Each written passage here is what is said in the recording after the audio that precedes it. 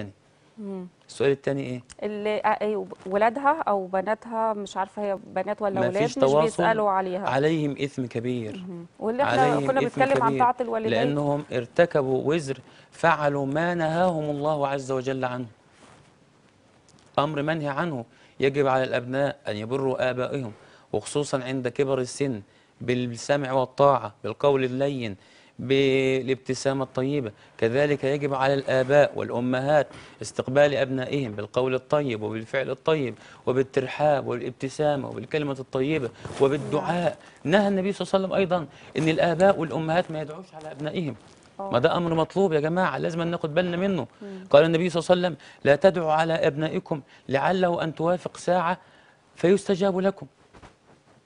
لعله أن توافق ساعة فيستجاب لكم. وده أمر منهي عنه.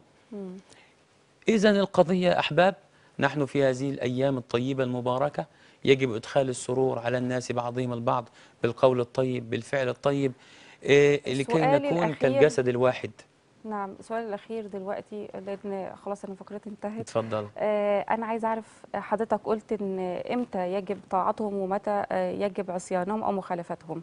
طيب آه، أنا عايزة أعرف ال- ال- العقوبة بالنسبة للأبناء اللي هم بعدم طاعة يعني بدون سبب.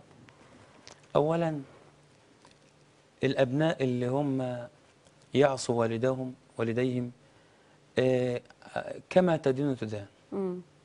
كما قال النبي صلى الله عليه وسلم افعل ما شئت كما تدين تدان إن الإنسان اللي يفعله بابوه هيتفعل معاه.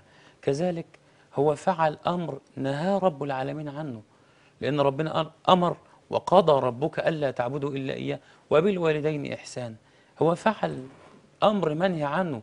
فلذلك قد يحرم من الرزق قد يحرم من التوفيق قد يحرم من البركة قد يحرم من من جميع أنواع الرزق. والرزق هنا يا أحباب مش فلوس بس والله. قد يكون حب الناس قد يكون توفيق قد يكون بركة قد يكون رحمة قد يكون طاعة زوجة قد يكون بركة في الأبناء والذرية. هو ده المطلوب. تمام.